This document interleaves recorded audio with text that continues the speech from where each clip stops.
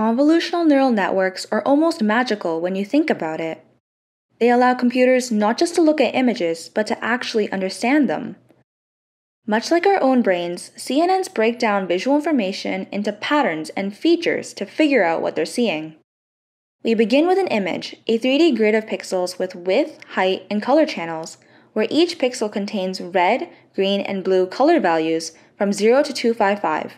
To the neural network, this is simply organized data. Next, these specialized detectors, called filters, which the network learns, slide across the image, examining small regions at a time.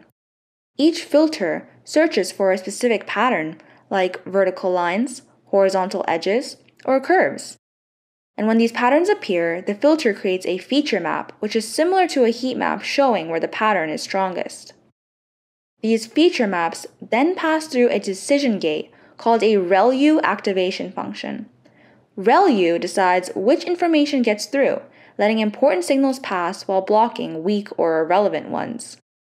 This adds the network's ability to recognize nonlinear patterns like curves or zigzags. Next comes the pooling step.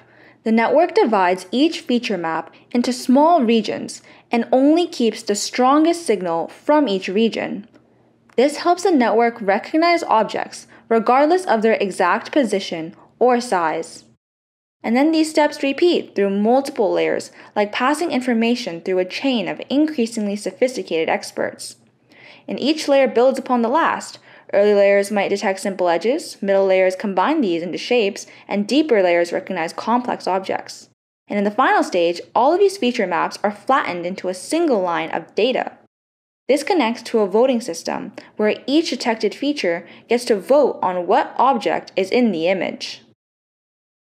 If enough cat like features are detected, then the network will conclude this is a cat.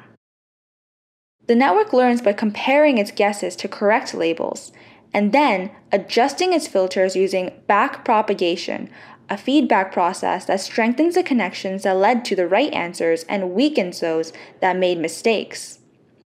Over thousands of examples, it fine tunes its pattern recognition abilities, much like how we learn from experience. If you like this video, be sure to follow along for more content like this. Also, to learn more and gain hands-on experience with AI tools, check out some of the free guided projects offered at cognitiveclass.ai that guide you step by step to creating your own project in under one hour.